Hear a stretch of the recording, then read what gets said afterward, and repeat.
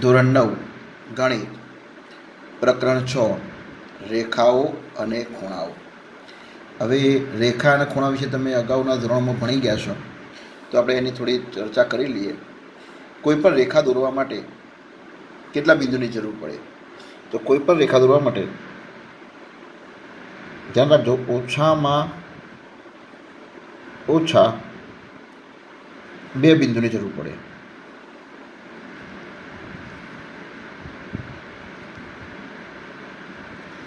રેખા દોરવા માટે ઓછામાં ઓછા બે બિંદુની જરૂર પડે. બે બિંદુ તમને આપેલા હોય. એક અને બીજું બિંદુ તરીકે અહીં આગળ આપ્યો એક બિંદુ અહીં એક બિંદુ અહીં પણ આપી શકાય. હવે આ બે બિંદુને જોડી દઈએ એટલે રેખા બની જાય. હવે આ બે બિંદુને માત્ર આટલા સુધી જોડીએ. તો આને રેખા ના કહેવાય. એને થોડું આપણે લંબાવીએ. અને આમ બંને બાજુ તીર મારી દઈએ તો આને શું કહેવાય? રેખા કહેવાય. આ તમે આગળ ભણેલા છો, રેખા. બરાબર? તમે રેખા પણ સમજેલા છો. અને આપણે રેખા કહીશું. તો રેખા દર્શાવવા માટે ઓછામાં ઓછા બે ભિન્ન બિંદુની જરૂર પડે. અને બીજું વિધાન એવું છે કે બે ભિન્ન બિંદુમાંથી એક અને માત્ર એક રેખા પસાર થાય. ધ્યાન રાખજો. એની બે વિધાનો. દરેક રેખા ઉપર ઓછામાં ઓછા બે ભિન્ન બિંદુ હોય. દરેક રેખા ઉપર ઓછામાં ઓછા બે ભિન્ન બિંદુ. ઓછામાં ઓછા બે એટલે બેથી વધારે બિંદુ હોય. પણ ઓછામાં ઓછા બે ભિન્ન બિંદુ હોય. અને બે ભિન્ન બિંદુમાંથી ઓછા ઓછામાં ઓછી એક રેખા પસાર થાય. બે ભિન્ન બિંદુમાંથી એક રેખા પસાર થાય. તો આ થઈ ગયું. હવે આ રેખાની, રેખાના ભાગની વાત કરીએ તો પહેલો રેખાખંડ લઈએ આપણે, રેખાખંડ. તો રેખાખંડ કોને કહેવાય? તો બે અંત્યબિંદુવાળા રેખાના ભાગને, ધ્યાન રાખજો વ્યાખ્યા. બે અંત્યબિંદુવાળા રેખાના ભાગને રેખાખંડ કહે છે. કેટલા અંત્યબિંદુ? બે અંત્યબિંદુ વાળા. રેખાના ભાગને. બે અંતબિંદુવાળા રેખાના ભાગને રેખાખંડ કહે છે. અને એને સંકેતમાં માત્ર આ દર્શાવાય છે. આ રેખાખંડ છે. એનો એક અંત્યબિંદુ આ અને એક અંત્યબિંદુ આ છે. એને આપણે એ અને બી નામ આપી દઈએ. તો આને રેખાખંડ એ બી કહેવાય. શું કહેવાય? આ શું કહેવાય? રેખાખંડ એ બી આને રેખાખંડ એ બી વંચાય. ધ્યાન રાખજો, રેખા બે અંતબિંદુવાળા રેખાના ભાગને રેખાખંડ કહે છે. સંકેતમાં એ અને બી આમ બે ટપ. આટલો જ ભાગ, રેખાખંડ. એના એ બી એટલે રેખાખંડના બે અંત્યબિંદુ આવે. એક આ બિંદુ અને એક આ અંત્યબિંદુ એટલે તમને પૂછાય, રેખાખંડના કેટલા અંત્યબિંદુ બે અંત્યબિંદુ બરાબર? હવે તમને એમ પૂછાય, હવે આ રેખાખંડ છે, બરાબર? દાખલા તરીકે એક રેખાખંડ લઈ લો, આ રેખાખંડ. આ રેખાખંડ પર આ બધા બિંદુ આવે આ બધા રેખાખંડ પરના બિંદુ છે. અસંખ્ય બિંદુઓ, ગણી ના શકાય એટલા બધા બિંદુઓ કહેવાય હા, અનંત ગણ ટાઈપ છે. રેખાખંડમાં અનંત ગણ જ આવે, કારણ કે આ બધા ઘણા બિંદુઓ આવે. તો આ બધા બિંદુઓમાં કોઈ પણ બિંદુની વાત કરીએ તો દરેક બિંદુની આજુબાજુ એક એક બિંદુ તો હોય. દાખલા તરીકે આ બિંદુની વાત કરું. તો એની આ બાજુ ડાબી બાજુ પણ એક બિંદુ હોય, જમણી બાજુ પણ એક બિંદુ હોય. આ બિંદુની વાત કરીએ તો ડાબી બાજુ એક બિંદુ હોય, જમણી બાજુ એક બિંદુ હોય. તો દરેક બિંદુની આસપાસ તો બે બિંદુ આવવાના જ છે, ડાબી બાજુ, જમણી બાજુ. તો આ રેખાખંડ પર તમને એમ પૂછાય પ્રશ્ન, ધ્યાન રાખજો. કે રેખાખંડ પરનું કયું બિંદુ એવું છે કે જેની એક જ તરફ બાકી બિંદુઓ હોય, બીજી તરફ ના હોય? એવા બિંદુ શોધી લાવો કે જેની એક જ તરફ બિંદુ હોય. બીજી તરફ ના હોય. તો કોઈ વિદ્યાર્થી તરીકે આ કહે તો ખોટું પડે, કારણ કે એની આ બાજુએ બિંદુ છે ને આ બાજુએ બિંદુ છે. તો રેખાખંડના કયું બિંદુ બે બિંદુની વચ્ચે નથી? આવું વિધાન પણ પૂછી શકાય. રેખાખંડ પરનું કયું બિંદુ બે બિંદુઓની વચ્ચે નથી? તો શું જવાબ આપશે? વિચારો. ફરીથી પ્રશ્ન સમજી લો. રેખાખંડ પરનું કયું બિંદુ બે બિંદુઓની વચ્ચે નથી? બરાબર? તો હું ખાલી સંકેતો આપું, બધા બિંદુને રેન્ડમ આશ્રય સંકેત આપી દઉં આને એ કહું આને બી કહું આને સી કહું, આ બિંદુને ડી કહું, ઈ કહીએ, એફ કહીએ, જી કહીએ, આ છેલ્લાને આપણે એચ કહીએ. તો આ બધા બિંદુઓ છે, બરાબર? આ રેન્ડમ નામ જ આપ્યા છે બેટા આમાં તમે કોઈ પણ વિચાર તો ચલો, શું જવાબ આવશે? રેખાખંડ પર પરનું કયું બિંદુ બે બિંદુની વચ્ચે નથી? તો જો આ એ બિંદુ લઈએ, આ એ બિંદુ. તો એ બિંદુની આ બાજુ બિંદુ છે. પણ આ બાજુ કોઈ બિંદુ નથી, કારણ કે એ બિંદુ શું છે? રેખાખંડનું અંત્ય બિંદુ. તો જવાબમાં શું આવે? એ બિંદુ. ચલો, બીજો કોઈ જવાબ આવી શકે ખરો આમાં? હા, આ જવાબ પણ આવી શકે એચ એ અને એચ એટલે કે અંત્યબિંદુ તો આનો જવાબ શું આવે? અંત્યબિંદુ તમને એમ પૂછાય, રેખાખંડ પરનું કયું બિંદુ બે બિંદુઓની વચ્ચે નથી? તો જવાબ શું આવે? અંત્યબિંદુ કયું? અંત્યબિંદુ જવાબ. પ્રશ્ન તો તમે બરોબર સાંભળ્યો છે બરાબર? હવે એ રીતે કિરણની વાત કરીએ છીએ આ રેખાખંડનું કામ પૂરું થઈ ગયું. હવે કિરણ. તો કિરણ કોને કહેવાય?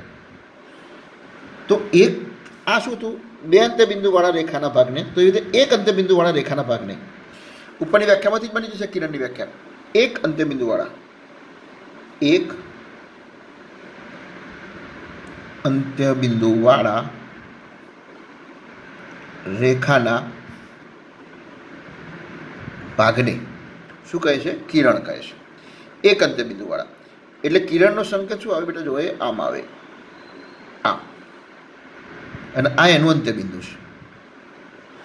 આ એનું અંત્યબિંદુ છે. આ કિરણ આપણે દોરીને બતાવ્યું. બરોબર? અને આને વાંચો આને નામ આપી દે તો અહીં એ અને બી. એ બી નામ આપી દે આને. એ અને આ બિંદુ બી. તો આને એ બી કિરણ કહેવાય. શું કહેવાય? કિરણ એ બી. આને શું કહેવાય? કિરણ એ બી. આ રીતે કિરણ એ બી આવું લખવું હોય તો આવું લખાય.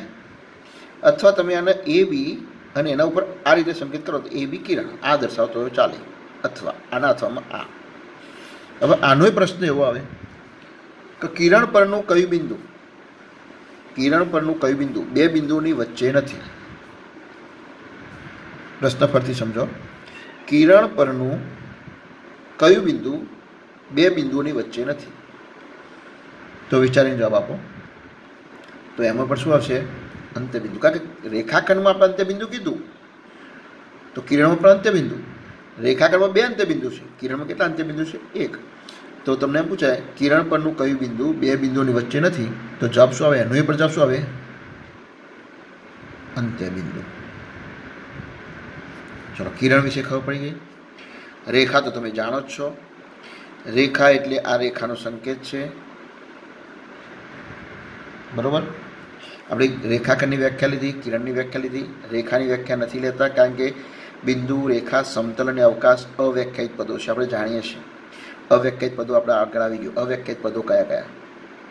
અવ્યાખ્યાયિત પદો. આપણે ભૂમિતિમાં અવ્યાખ્યાયિત પદો કયા છે? તો એના ચાર પદો છે. કયા કયા છે? બિંદુ, રેખા, સમતલ અને અવકાશ. બિંદુ, રેખા, સમતલ, અવકાશ. એટલે રેખાની કોઈ વ્યાખ્યા ના હોય. માત્ર આપણે આ રેખા રીતે દોરી શકાય એમ કહેવાય. હવે તમને એમ કોઈ પૂછે કે રેખા ઉપરનું કયું બિંદુ? બે બિંદુની વચ્ચે નથી. તો રેખા ઉપરનું કોઈ પણ એવું બિંદુ મળે જ નહીં કે જે બે બિંદુની વચ્ચે ના હોય. બે બિંદુની વચ્ચે જ હોય. રેખા પરનું દરેક બિંદુ બે બિંદુની વચ્ચે હોય. તો કેમ? તેનો જવાબ શું આવે? કે રેખાને અંત્યબિંદુ નથી. રેખાને કોઈ અંત્યબિંદુ નથી. રેખા બંને તરફ અવિરતપણે વિસ્તરેલી છે. બંને બાજુ આમ અનંત સુધી જઈ શકે છે. માટે રેખા ઉપરનું એવું કોઈ બિંદુ ના મળે કે જે બે બિંદુની વચ્ચે ના બે બિંદુની વચ્ચે જ હોય દરેક બિંદુ. ચલો, આટલો તમને ક્લિયર થઈ ગયું છે. હવે ખૂણાની વાત કરીએ છીએ. ખૂણા. આપણે પ્રકરણનું નામ હતું રેખાઓ અને ખૂણાઓ. તો રેખા વિશે તમને ખબર પડી ગઈ, હવે ખૂણાઓ વિશે થોડી સમજ લઈ લઈએ. તો ખૂણો દર્શાવવા માટે બે કિરણની જરૂર પડે. ખૂણા માટે કેટલા કિરણની જરૂર પડે? ચલો, બે કિરણ. અને બંને કિરણો કેવા કિરણો જોઈએ? તો બંને કિરણોનું જે અંત્યબિંદુ હોય એ સામાન્ય અંત્યબિંદુ હોવું જોઈએ. બંને કિરણોના અંત્યબિંદુ સામાન્ય. કોમન બરાબર દાખલા તરીકે ધારો કે આ એક કિરણ મેં દોર્યું આ એક કિરણ દોર્યું તો બીજું કિરણમાં દોરવાનું તો આ કિરણનું અંત્યબિંદુ કયું હતું આ અંત્યબિંદુ હતું તો બે કિરણ ખૂણા કિરણો એવા લેવાના કે અંત્યબિંદુ કેવું હોય બંનેનું સામાન્ય અંત્યબિંદુ હોય તો બીજું કિરણ એવું દોરો કે આ અંત્યબિંદુનો ઉપયોગ કરીને જ બીજું કિરણ દોરવાનું તો કોઈ વિદ્યાર્થી કે હું આ સર દોરું છું ચલો એ આ તો જો આ બીજું કિરણ દોર્યું એનું પણ અંત્યબિંદુ આ આ કિરણનું અંત્યબિંદુ આ? એટલે સામાન્ય અંત્યબિંદુ આવે બરોબર? કેવું કહેવાય? સામાન્ય તો ખૂણો કોને કહેવાય? તો બે કિરણો. જ્યારે બે કિરણો એક, આ બે કિરણો જ્યારે જ્યારે બે કિરણો એક. સામાન્ય અંત્યબિંદુમાંથી સામાન્ય અંત્યબિંદુમાંથી ઉદ્ભવે તો તેને ખૂણો કહે છે. જ્યારે બે કિરણો કોઈ સામાન્ય ઉદ્ભવ બિંદુમાંથી ઉદ્ભવે સામાન્ય અંત્યબિંદુમાંથી ઉદ્ભવે ત્યારે એને શું કહેવામાં આવે છે? ખૂણો કહે છે. ચલો, ખૂણાની વ્યાખ્યા તમને આવડી ગઈ છે. ફરીથી પણ બોલું. જ્યારે બે કિરણો એક સામાન્ય અંત્યબિંદુમાંથી જ્યારે બે કિરણો એક સામાન્ય અંત્યબિંદુમાંથી ઉદ્ભવે ત્યારે ખૂણો બને છે. એટલે ખૂણો થઈ ગયો. હવે આ ખૂણાને કેવી રીતે વંચાય એની વાત છે. તો ખૂણાને વાંચવાની પદ્ધતિઓ ઘણી છે. ચલો, ધારો કે ખૂણા ઉપર આપણે નામ આપી દે એ બી અને સી તો આ ખૂણાને તમે શું કહેવાય? તો આને આ રીતે પણ કહી શકાય, ખૂણો એબીસી કહેવાય. આને તમે આ રીતે ખૂણો એબીસી પણ લખી શકો. અથવા આને ખૂણો બી પણ કહી શકો. ખૂણાને એનું જે સામાન્ય અંત્યબિંદુ છે, આને શિરોબિંદુ કહેવાય. આને શું કહેવાય? શિરોબિંદુ. બે કિરણોનું જે સામાન્ય અંત્યબિંદુ હતું, અને એનાથી જે ખૂણો બન્યો, બે કિરણો વડે, તો એ સામાન્ય અંત્યબિંદુ એ એનું ખૂણાનું શિરોબિંદુ બની જાય છે. શું બની જાય છે? શિરોબિંદુ ધ્યાન રાખજો. હવે આ ખૂણાના અંગોની વાત કરીએ, તો ખૂણાના બે અંગો, એક ભુજાઓ, આ એ બી અને એસી ભુજાઓ કહેવાય. હવે આને ભુજા કઈ કહેવાય? બી એ કિરણ. જો હા, આ રીતે વંચાય. બી એ કિરણ અને બીસી કિરણ.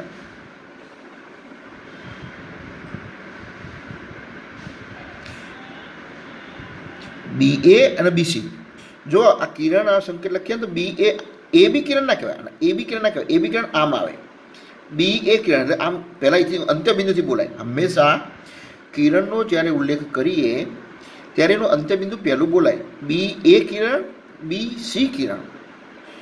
ધ્યાન રાખજો બરાબર. આવી ભૂલો કદી ના થવી જોઈએ. તો બી એ કિરણ બી સી કિરણ. તો બી એ કિરણ બી સી કિરણ એના બંને બાજુઓ કહેવાય. શું કહેવાય? ખૂણાની બાજુઓ. બાજુનો બીજો શબ્દ છે ભુજ પણ કહેવાય. ભુજ. તો ખૂણો, ખૂણાની બે ભુજ કઈ બી એ અને બીસી હવે એનું શિરોબિંદુ કઈ? શિરોબિંદુ, ખૂણાનું શિરોબિંદુ. તો શિરોબિંદુ એટલે જે આ હતું એ, તો શિરોબિંદુ બી કહેવાય. બીને એનું શું કહેવાય? શિરોબિંદુ કહેવાય. એટલે ખૂણો જ્યારે બોલવો હોય, ત્યારે એના શિરોબિંદુથી પણ દર્શાવી શકાય છે. પણ ક્યારે? જ્યારે આવું એક સ્વતંત્ર ખૂણો હોય ત્યારે. બરાબર? ધ્યાન રાખજો. પણ ધારો કે આ રીતે ખૂણો હોય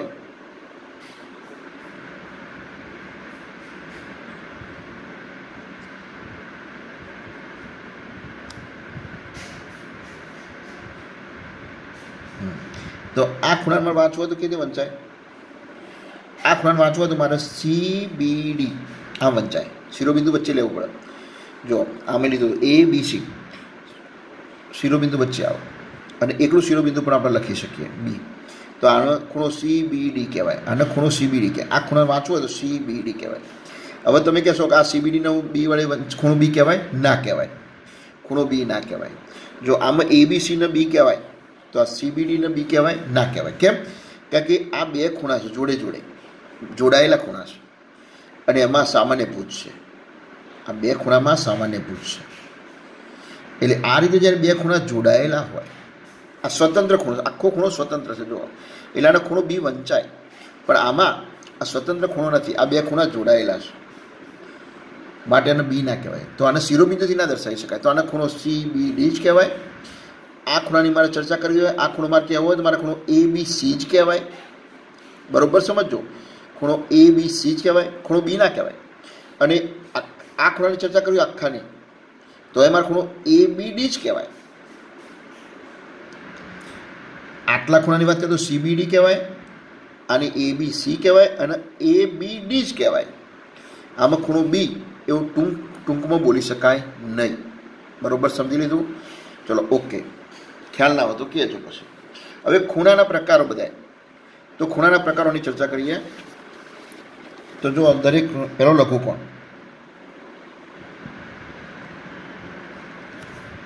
હવે બધા લઘુ કોણ? તો લઘુ કોણ કોને કહેવાય?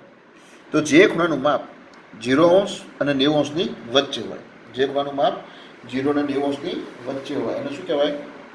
લઘુ કોણ કહે છે.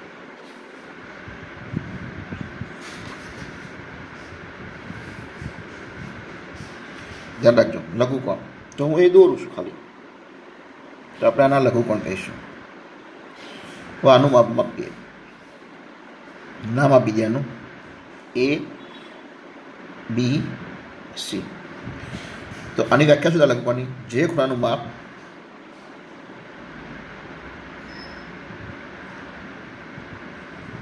ઝીરો અંશથી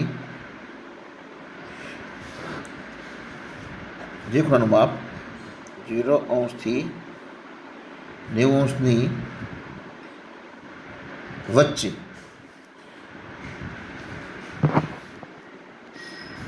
ઝીરો અંશથી નેવું અંશની વચ્ચે હોય.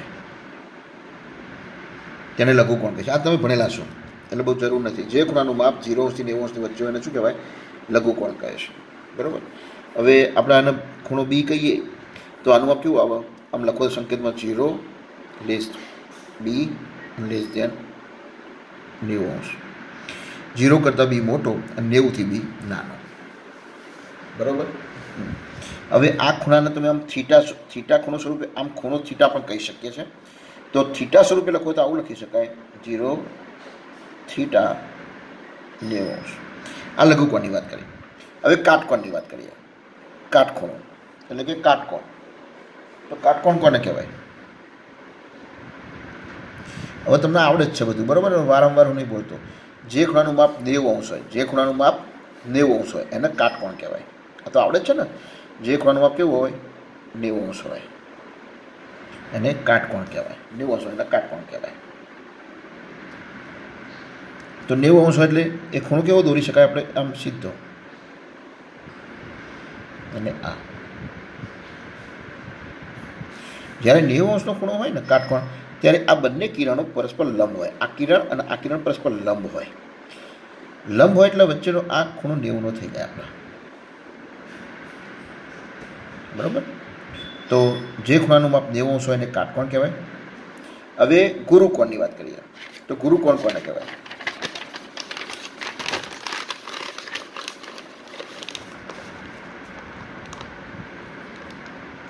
આમ લઈ આમ લઈએ. તો જે ખૂણાનું માપ આ ગુરુકોણ નામ આપી દે પી ક્યુ આર જે ખૂણાનું માપ નેવુંથી મોટું અને એકસો એંશીથી નાનું હોય. જે ખૂણાનું માપ નેવું અંશથી મોટું અને એકસો એંશી અંશથી નાનું હોય એને શું કહેવાય? ગુરુકોણ કહે છે? એટલે એને કેવી લખાય? નેવું અંશ. હવે આના પર છીટા તાર લઈએ. એનાથી થીટા કેવો હોય? મોટો અને એકસો એંશીથી થીટા કેવો હોય? નાનો. નેવું, થીટા અને એકસો એંશી તો ગુરુકોણ તમે ભણી ગયેલા છે. જે ખૂણાનું માપ નેવું અંશથી મોટું અને એકસો એંશી અંશથી નાનું હોય, એને શું કહેવાય? ગુરુકોણ કહે છે. હવે સરળ કોણ? ગુરુકોણ, પછી સરળ કોણ? જો તમે લઘુકોણ, કાટકોણ ગુરુકોણ ભણેલા છો, હવે સરળ કોણ આવ્યો?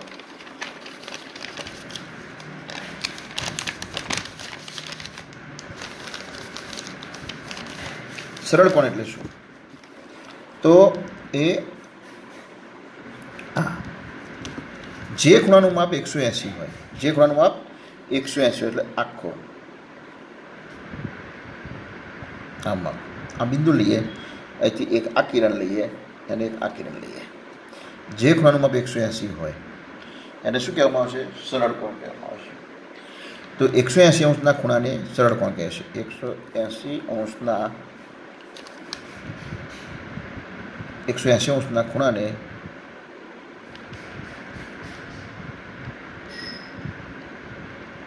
સરળ કોણ કહે છે? સરળ સરળ કોણ કહે છે? બરાબર? સરળ કોણ કહે છે? હવે ચલો આવી ગયો. વિપરીત કોણ? કયો આવ્યો પાછો? વિપરીત કોણ? તો વિપરીત કોણ કોને કહેવાય? તો દાખલા તરીકે આપણા આ ખૂણો છે. આ ખૂણો આપણો થીટા. તો આ ખૂણા સિવાયનો બાર બારનો આ ખૂણો, આખો. આનો વિપરીત કોણ કહેવાય? આ. આ વિપરીત કોણ? ખૂણાની બહારનો ભાગ. આ વિપરીત કોણ કહેવાય? બરાબર? આના પર થીટા આ થીટા આના થીટા ડેશ કહી દઉં. તો એનું માપ કેટલું આવે? એકસો એંશીથી મોટું. અને ત્રણસો સાહીઠની વચ્ચે. વિપરીત કોણનું માપ? એકસો એંશીથી મોટું. જો થીટા ડેશ લખ્યું નહીં. અને ત્રણસો સાહીઠથી નાનું. તો જે ખૂણાનું માપ એકસો એંસીથી વધુ અને ત્રણસો સાહીઠ, એટલે જે ખૂણાનું એકસો એંસીથી ત્રણસો સાહીઠ વચ્ચે હોય, એને વિપરીત કોણ કહે છે? ધ્યાન રાખજો, જે ખૂણાનું માપ એકસો એંસીથી ત્રણસો સાહીઠ વચ્ચે હોય, એને વિપરીત કોણ કહે છે? ચલો, ખ્યાલ આવી ગયો છે. હવે આપણે કેટલા ખૂણા ભણ્યા? એક લઘુકોણ તો એની ફરતી વાત, જે ખૂણાનું માપ કેટલું હોય? જીરોથી નેવું વચ્ચેનું હોય, એને લઘુકોણ કહેવાય? જે ખૂણાનું માપ નેવું અંશ હોય એને કાટકોણ કહેવાય? જે ખૂણાનું માપ નેવુંથી મોટું ને એકસો એંશીથી નાનું. નેવુંથી એકસો એંશી વચ્ચે હોય એને ગુરુકોણ કહેવાય? જે ખૂણાનું માપ એકસો એંશી અંશ હોય એને સરળ કોણ કહેવાય? અને જે ખૂણાનું માપ એકસો એંશીથી ત્રણસો સાઠ વચ્ચે હોય એને વિપરીત કોણ કહેવાય? તો આ પાંચે પાંચ ખૂણાના પ્રકારો છે એની વ્યાખ્યાઓ તમારે તૈયાર કરી દેવી પડે. એ જો તૈયાર કરી દો, સમજી લો, તો તમને આવડી જાય. હવે આ તો એક એક ખૂણાની વાત હતી. હવે જોડીમાં, ખૂણાની જોડીઓ ખૂણાની જોડીની વાત કરીએ છીએ. જોડી. તો ખૂણાની જોડીમાં કોટી કોણ? પહેલી એક જોડી છે કોટી કોણ? કોટી કોણ? તો કોટી કોણ કોને કહેવાય? તો જે બે ખૂણાના માપનો સરવાળો, ધ્યાન રાખજો, કોટી કોણ? કોટી કોણમાં કાટકોણના કોટી કોણમાં ફેર. કાટકોણ એટલે એક જ ખૂણાની ચર્ચા છે. કે નેવું અંશનો ખૂણો એને કાટકોણ કહેવાય. કોટી કોણ? કોટી કોણ એટલે બે ખૂણાની વાત છે. આ કોટી કોણમાં બે ખૂણાની વાત આવે. કેટલા ખૂણાની વાત આવે? બે ખૂણાની ચર્ચા થાય. તો જે બે ખૂણાના માપનો સરવાળો, ધ્યાન રાખો જે બે ખૂણાના માપનો સરવાળો નેવું અંશ થાય તેને એકબીજાના કોટી કોણ કહેવાય? જે બે ખૂણાના માપનો સરવાળો નેવું અંશ થાય તેને એકબીજાના કોટી કોણ કહે છે. વ્યાખ્યા તૈયાર કરી દેવાની, કોટી કોણ. ફરીથી, જે બે ખૂણાના માપનો સરવાળો નેવું અંશ થાય તેને એકબીજાના કોટી કોણ કહે છે. હવે આ કોટી કોણ? એના ઉપરના દાખલા આવે છે. પણ આજે આપણે વ્યાખ્યાઓ બધી ચર્ચા કરી લઈએ, બરાબર? પછી દાખલા બીજી, બીજામાં. હવે પૂરક કોણ કોને કહેવાય? પૂરક કોણ? કોટી કોણ તો પૂરક કોણ? એમાં બે ખૂણાની ચર્ચા. તો જે બે ખૂણાની માપનો સરવાળો એકસો એંસી અંશ થાય તેના પૂરક કોણ. જે બે ખૂણાના માપનો સરવાળો એકસો એંસી અંશ થાય, તેને એકબીજાના પૂરક કોણ કહે છે. કોટી કોણ એટલે બે ખૂણાના માપનો સરવાળો નેવું થાય પૂરક કોણ? એટલે બે ખૂણાના માપનો સરવાળો એકસો એંસી અંશ થાય, એને પૂરક કોણ કહેવાય? બરાબર, ખ્યાલ આવી ગયો? કોટી કોણ, પૂરક કોણ? બે. બરાબર? તો આ ખૂણાઓના, આ જોડીઓ હતી. બરાબર? હવે એવું એક આસન્ન કોણ? આસન્ન કોણ આવે છે? ત્રીજો આસન્ન કોણની જોડી.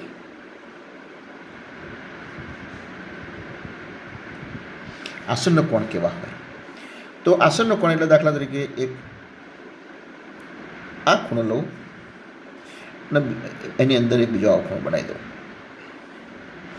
આ આસનનો કોણ છે? તો બે બે ખૂણા હોય. બરાબર? બે ખૂણાનું ઉદ્ભવ બિંદુ સામાન્ય ઉદ્ભવ બિંદુ હોય અને એક એક ભુજ સામાન્ય હોય. બે ખૂણાઓમાં એક ભુજ સામાન્ય હોય. બે ખૂણાઓમાં એક ભુજ સામાન્ય હોય. ધારો કે આ ખૂણો લઈએ તો એનો આ ભુજ, આ ખૂણાના બે ભુજ કયા એક અને બે. આના કે આ બે. તો આ એક ભુજ સામાન્ય આવી ગયો. જે બે ખૂણામાં એક ભુજ સામાન્ય હોય અને આ બાકીના ભુજ જે છે, એની સામ સામે આવેલા હોય. આ ખૂણાની આજુ, આજુબાજુ, જુદી જુદી બાજુએ. ખૂણા એ સામાન્ય ભુજની જુદી જુદી બાજુએ આવેલા હોય. તો એને આસન્ન કોણ કહેવાય? જે બે ખૂણામાં એક ભુજ સામાન્ય હોય અને બાકીના ભુજ સામાન્ય ભુજની જુદી જુદી બાજુએ આવેલા હોય, તો તેને આસન્ન કોણ કહે છે? હવે આસન્ન કોણમાં આ બે ખૂણા વચ્ચે કોઈ સંબંધ નથી. જે તે પૂરક કણમાં હતો, તો બેનો સરવાળો એકસો એંસી થાય. કોટી કણમાં હતો, બેનો સરવાળો નેવું થાય. એવું આસન્ન કોણમાં એવું કોઈ કેટલો સરવાળો ફિક્સ નહીં. હા, પણ એટલું ખરું કે આ બંને જે આસન્ન કોણ છે, એનું નામ આપણે આપી દઈએ દાખલા પી ક્યુ આર અને એસ તો આસન્ન ખૂણા કયા થયા? ખૂણો પી ક્યુ આર અને ખૂણો આર ક્યુ એસ આ બે આસન્ન કોણ થયા? હા, આ બેના માપ કેટલા છે એ આપણે નથી જાણતા. અને એના વચ્ચે કોઈ સંબંધ પણ નથી. પણ એટલું ખરું કે આ ખૂણો આસનનો કોણ અને આ ખૂણો, આ બંને આસનનો કોણનો સરવાળો કરીએ, તો આખા મોટા ખૂણા જેટલો થાય. એટલે આવા દાખલા પૂછાય. તમને એક આટલા, આનું માપ આપ્યું ખાલી, આ ખૂણાનું માપ આપ્યું, એક એક આસનનો કોણનું માપ આપ્યું. ત્યાંના એક આસનનો કોણનું માપ આપ્યું હોય?